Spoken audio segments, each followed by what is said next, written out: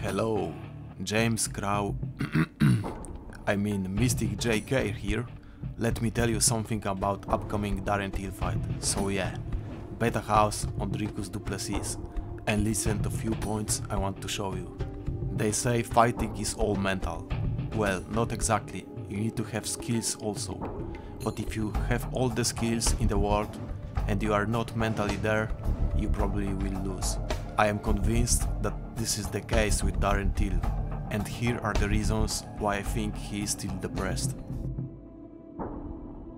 I don't know, he said something the other day, like when I'm on my thing, I'm the best in the world, and when I'm not, I'm the shittest. So I don't know if it was a compliment or not, but like, I've trained me fucking, me bollocks. As I, said, as I said, South Africans are nice guys, so I'm not even gonna beef with him. He's a nice kid. We'll see Saturday night. I'm not so nice, you know? Oh, of course. In, in the fight, you're, you're, you're a nasty guy, but here, you're a nice guy. You're a nice South African guy, so I love you, lad.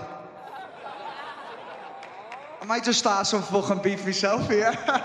Okay.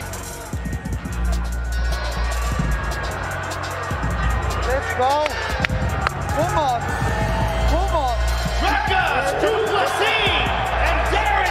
Because all my life I've mostly trained in like Liverpool, and it's like some it just become a little bit of the same thing for me that like a little bit stale, and uh, I was I don't know, I just felt like a little change and like it's just the same training partners and a little bit stale and you just become a little bit in this like I don't know how to even explain it really like. Uh, for me, I was getting a little bit demotivated, you know what I mean? It was, it's fucking cold as well. I just wanted to change up. Like this year, I've trained a lot with Khamzat as well and All Stars, so that was, you know, great doing the, the fight camps with them as well. On top of that, you know how many times Darren pulled out from a fight last year.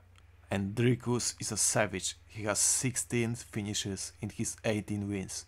I have zero doubts that he will win this fight. And one more thing, I had a dream yesterday that Paddy Pimblett lost by split decision. Let's see how it will play out. Enjoy the fight. See you guys. Uh, nothing happened.